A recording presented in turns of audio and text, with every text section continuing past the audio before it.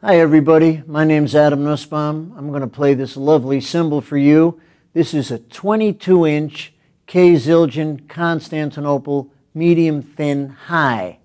Uh, it's a little heavier than one I played before.